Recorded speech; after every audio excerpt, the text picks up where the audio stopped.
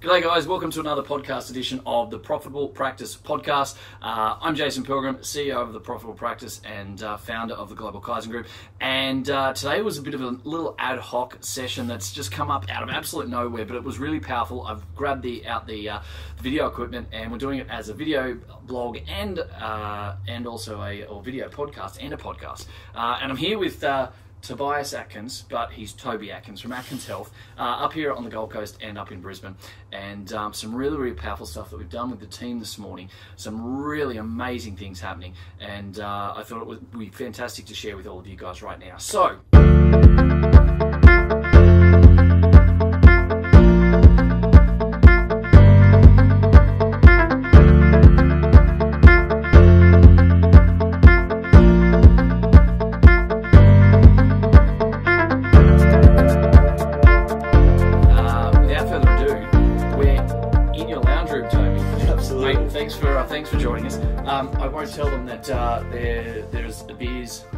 here. I don't know what you're talking about. Uh, they can't be seen, so it doesn't matter, right? Um, but mate, we're going to just dive straight in. Thanks for just ad hoc, out of nowhere, jumping in onto this. Um, Pleasure. we were just having some a really good chat for two or three minutes, just sort of wrapping up to the chat we are having with some team members this morning in a bit of a team day. Mhm. Um, and we've got more stuff happening this afternoon. Absolutely. I thought it was really powerful because what we've been able to do with yourself and the lessons that you've you've learned come through, I think, is something that a lot of allied health providers uh, get stuck with, a challenge with, and a lot of them don't even actually really know it or understand it. So Mhm. I just thought let's let's go through and step these out, but actually step these out for everyone's benefit. So, Cool. um, mate, do you want to just give us a really quick rundown, twenty seconds on the structure of your business, hmm uh, setup, locations, team members. Yeah, cool. So um, currently we've got about uh, 11 team members, Yep. a mixture of um, some that have full time caseload, others doing a little bit of contractual work here, there, and everywhere. Uh, got five locations on the Gold Coast, um, moving into Brisbane as well. Um, that's pretty much it in terms of the structural component of it. Cool. Um, does that cover what you're chasing? Dude, absolutely. Yeah, Easy. just to give some framework for those Yeah, that don't know who you guys are. Cool. Um, so we got chatting a few minutes ago, just before we hit record. We got one of the big realizations of this morning was obviously in and around about simplifying your business and creating an avenue where we actually dumping locations and have dump locations in order to be able to grow what you guys are actually wanting to achieve. hmm want to just talk us through that? Yeah, cool. So um, we're having a bit of a chat of like a company blueprint and, and, and kind of structure and um, talking about where to go from here and how to grow and, and, and what things we're doing well and things that we're not doing well and time spent in different areas and locations and all the rest of it. And um, basically came to the realization that a lot of time, energy, and um, effort has been spent in areas that um, in the past, particularly, that probably took our focus away from our vision and, and Distractions, dude. Let's call it for, let's Yeah, call yeah. it for what it is, right? 100%. Um, we're, we're all here with friends. So, just to what what we discovered at Mhm. the end of the day was the fact that um, there was a period of time there, and we've tidied this up, but we're about to do it again as Mhm. well. That we've got four, we had four locations. We knew that we had to take one out of the equation. We didn't know, but we we did end up doing that so that we could open up into five that we have now. And I think the reason why this is really powerful because I know there's a lot of people that are listening and, and potentially watching as well that are in that situation.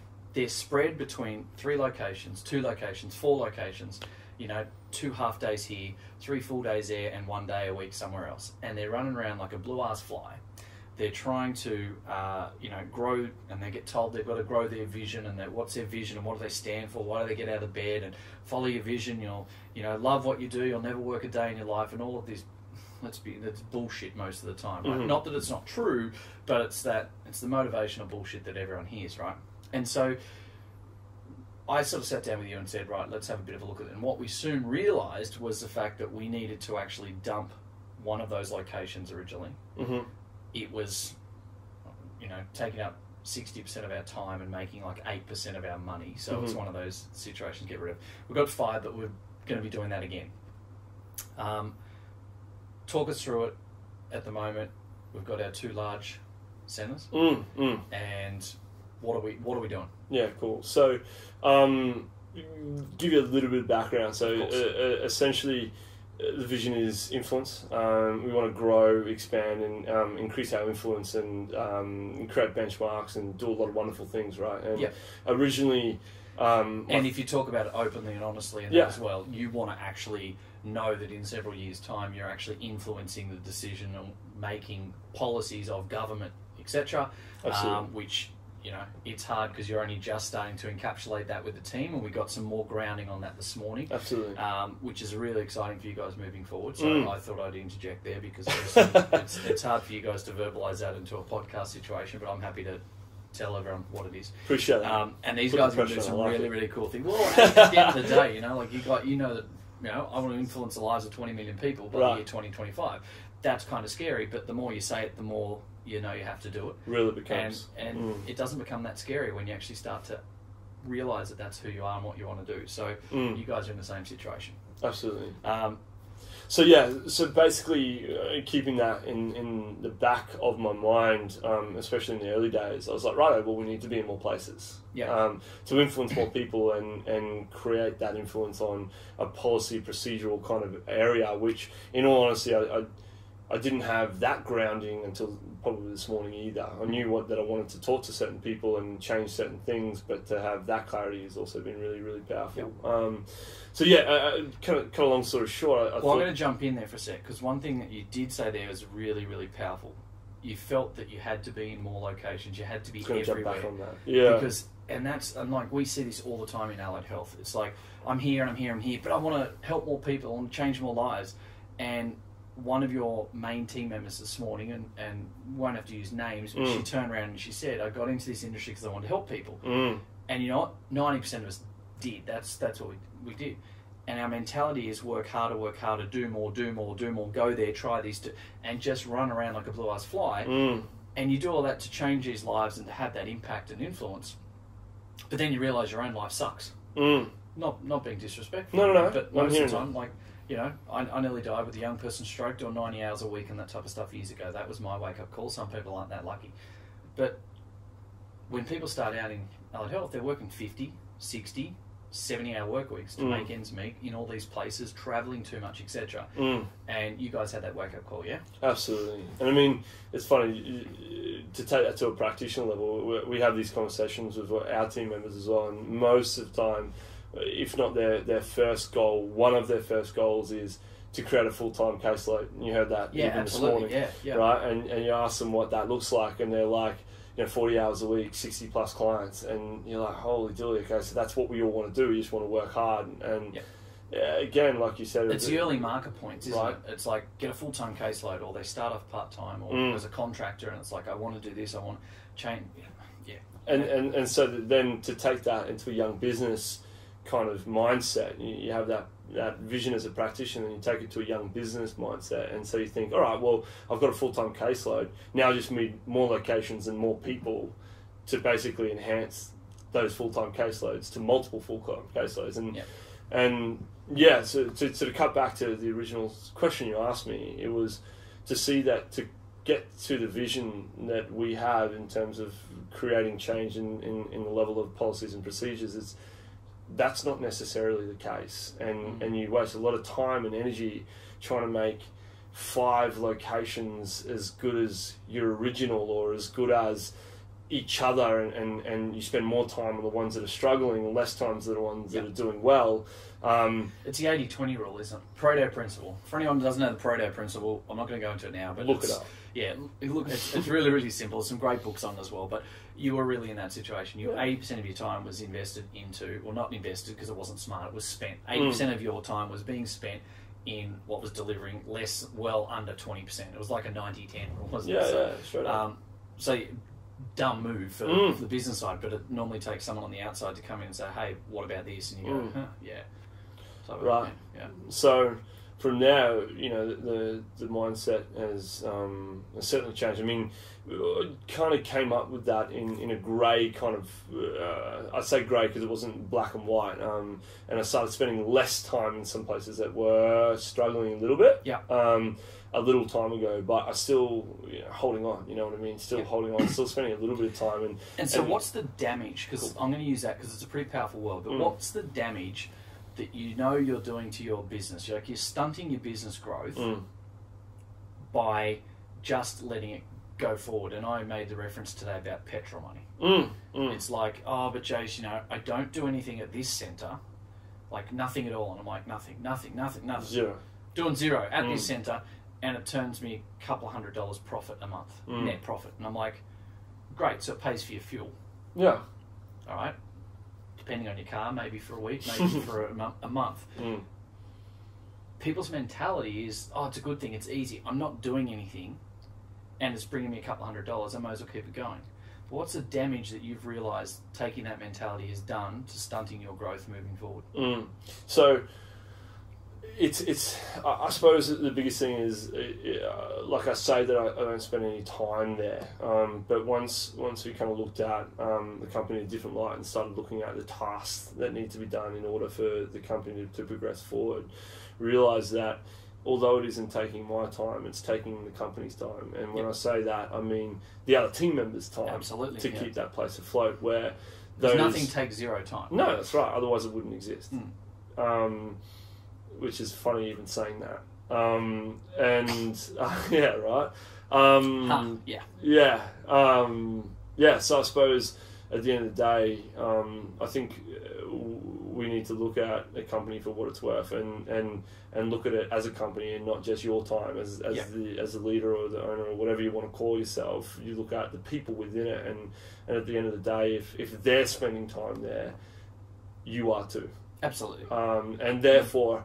You're not spending time on getting closer and working harder at Yep. your vision, which is And chatting with the different guy, direction. it's interesting that you say that because chatting with the guys this morning, um, we realised that the biggest realisation was that we need and the business needs more of their time invested into the two or three channels that are really going to drive forward, into the new stuff happening in Brisbane, Mm. the new locations, and more time. Funnily enough, more time of Mm. their time is invested needs to be invested there.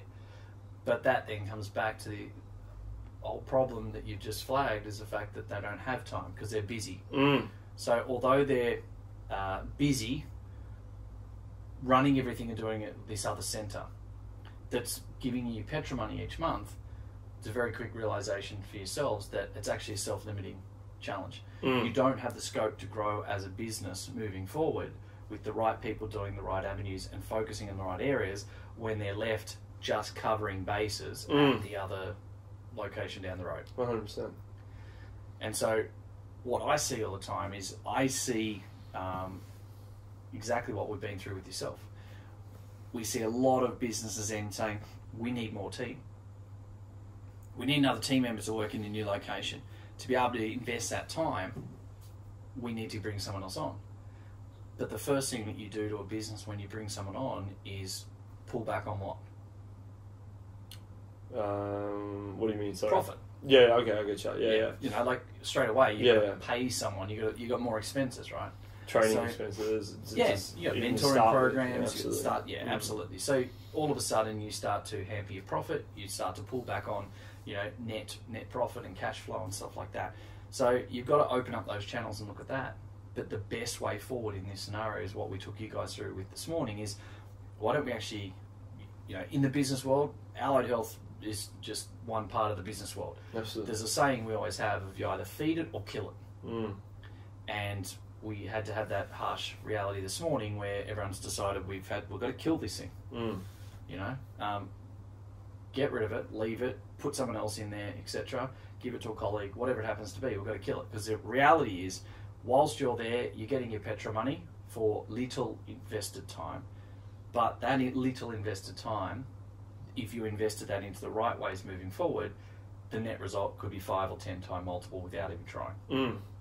and if that's in line with the vision of the team and where you guys are going and what you want in regards to advocacy and in regards to you know policy development etc then what you're actually doing is not only hampering the cash flow opportunities and the growth factorial by 5 or 10 but you're actually distinctly damaging your ability to even go close to what you want to obtain in 5 years or 10 years time Mm. and i think for most people that's worse than not having the extra money in the bank Absolutely. Want to smash you in the face. yeah absolutely yeah Yeah. yeah it's like You'd realise that to begin Yeah. with, and that's the tough part. maybe for one month or two months you don't have that extra petrol money. Mm. But when you do it the right way, and this I think is a really big situation. I think a lot of people don't understand it for what it is. Mhm. If you push something hard for four to six weeks, you can literally be in a scenario where you'll never have a negative downturn on it. What I mean by that is people say, "Oh, I've got a, pro, a part-time team member, or I need to bring on a part-time, or I don't have enough for a full-time load." Mhm. And we've you've seen me do deep dives with people on our webinars and that type of stuff, showing the formula or how we actually do it. And it's a really simple process. You can push this for four weeks, sometimes six weeks, and you can bring on a full time team member, not a part time team member, and you actually never lose a dollar because you've already broken even. So you've also dropped your own caseload ten or fifteen. You know, we did it with John, and that was like twenty-two hours we dropped. Crazy. You, you literally drop a part-time load, give it to a new team member. You can then go through and invest more time into them, into your team and your culture and your mentoring, Mm. upskill them, and you can work in your genius. You can get through the marketing and start to move into the area that your business actually wants to go in. Mm. Like it's a no-brainer, right? When you look at it. When you look at it. Yeah, Yeah, absolutely. yeah, It's just yeah. that we all take the hard, long road of That's you know years of hard slog before someone actually hits us between the eyes with it. So Absolutely. yeah, That's cool. it is absolutely, It's really- absolutely. Powerful. All right, dude. Well, what I'll do, let's um, well, let's look to wrap this up because um, Toby's been a really cool guy to be able to just talk off the cuff with this, um, pretty chilled out, and he's probably going to want to get back to his beer that's getting a bit warm, um, that's not actually here, right? Uh, let me let me throw you throw you under the bus here. Um, for those who are listening, what would be your what would be your key points, key takeaways, um, biggest learnings, gold nuggets, all that type of stuff for someone that's in your situation? And let's be honest, there's a load of people that are in that situation. Multiple clinics, you know, a couple of team members, uh, not necessarily 11 like yourself, but maybe just one or two team members, a Mm. couple of locations, bits and pieces all over the place, um, wanting to grow, your learnings, biggest nuggets, etc. Yeah, Go. sweet.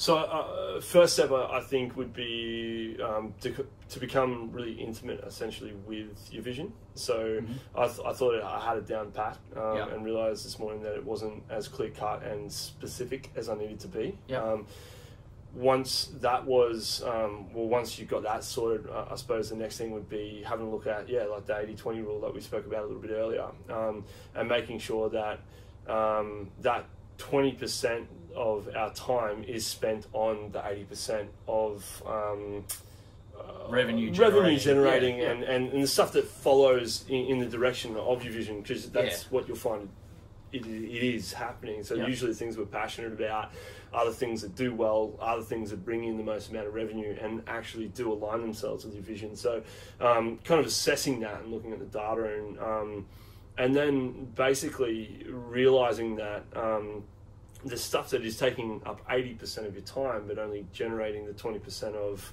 um, revenue or, or, or uh, progression towards your Petrol money for you, right? petrol yeah, money, petrol right? money, yeah, yeah. We'll stick with the same Yeah, yeah, yeah, yeah, yeah, yeah, You're gonna love hearing. um, is that it's taking up a lot more than what you think it is. Yeah. Um, whether it be your time or a team member's time. Um, and it's a self-limiting. That's right. So yeah, hundred percent. And and because of that, and because it is taking only giving you back that twenty percent, realizing that if you restructure and take that, maybe cut that off, Kill it, not feed, not try and feed it. Yeah. straight up, um, and put that in with that that time, whether whether it be yourself or or a team member's energy, effort, whatever you want to call it, and, and put it in with um, with the other eighty percent that is moving you in the right direction.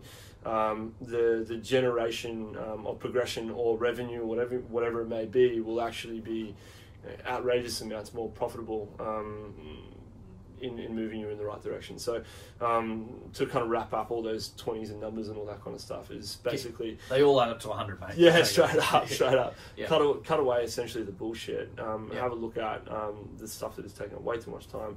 Relocate that energy um, Yeah. or, or, or time and, and make sure it's it's working in the right direction. Yeah, absolutely. And for, for you guys in particular, I think Mm. a simple way of, of, of putting it is just, you know what?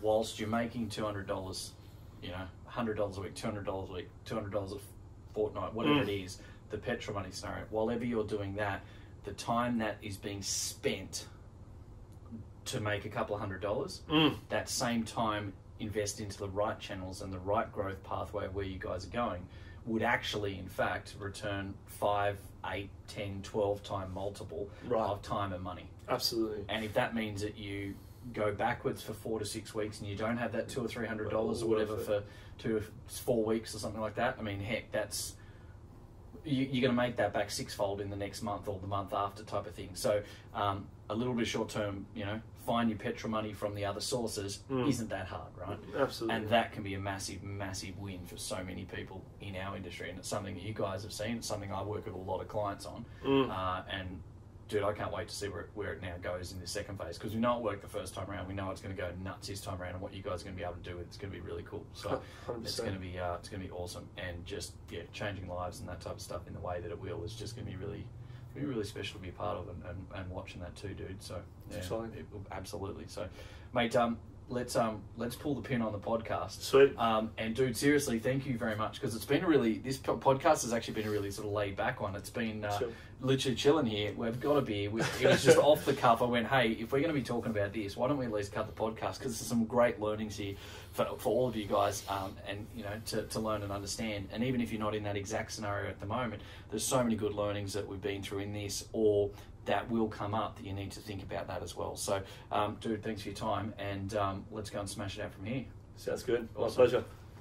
Even Cheers, though, pe- even though people can't see that on camera. thanks, guys. Nice. Uh, thanks for joining us for another episode of the Prof- the Profitable Practice podcast. Uh, we'll talk to you guys very soon. Ciao for now. Cheers.